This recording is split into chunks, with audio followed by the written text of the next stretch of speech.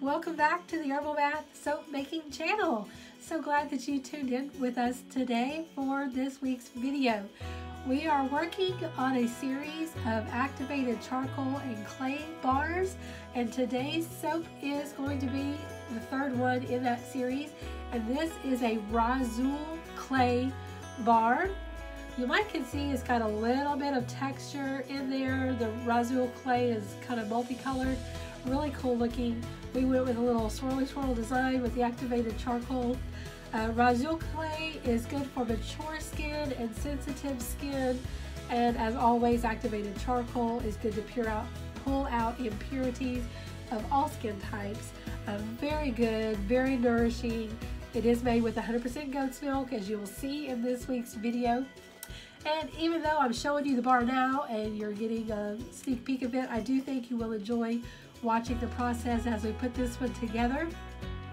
It's a little messy working with activated charcoal. I have to say it's not my favorite thing in the world to do, but um, it is really amazing for your skin. So therefore we will suffer through so that you can have great amazing soap um, to use on your skin.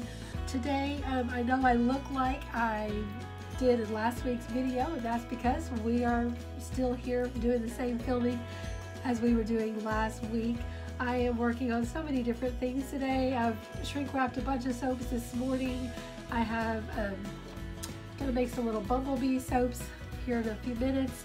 We're gonna do some piped flowers. I have three loaves of soap that I wanna get done today. Um, all things that you will get to see upcoming in the near future. So um, sorry that I look just like I did last week, but hey, it's the same day for me and we are just busting things out and trying to get things done uh, while we have some time off from from my day job. So anyway, thank you so much for tuning in. I'm really glad that you're here and I appreciate all the all of you guys um, tuning in to watch us today.